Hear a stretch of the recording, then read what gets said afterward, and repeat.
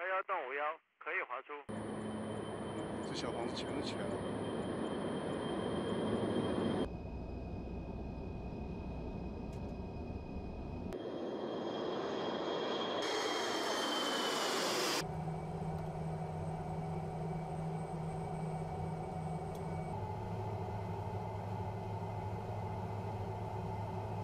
我们能够自己做，就是说，工厂不给我们提供支持的话，也能完成了。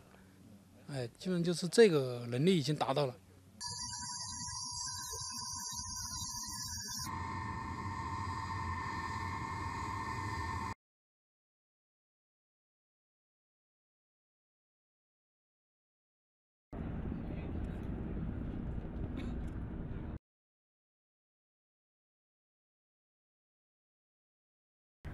今天的工作就是跟我们没有太大关系，他们的一个改正，那个梯子的摆放，包括已经培养出了一大批业务骨干和技术人才，为未来多兵种联合作战奠定坚实的基础。